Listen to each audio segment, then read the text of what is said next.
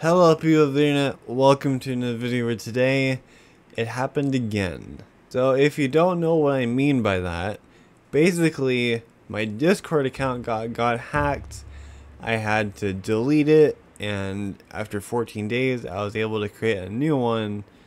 Yeah, they targeted my Facebook account too for some reason. Like, who uses Facebook? But then I remembered that Facebook is connected to Instagram. I just so happened to have an Instagram account that I am somewhat active on.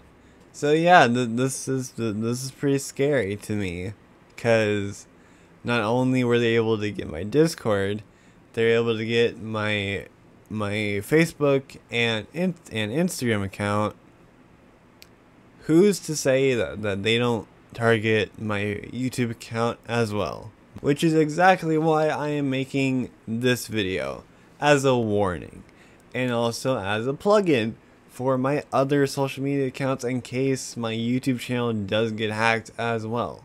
So if you don't already know, uh, um, Twitch, I have a Twitch channel and Twitter. I post there sometimes. That's it. Thank you. Goodbye. Um, check the description and if anyone tries chasing after you, run.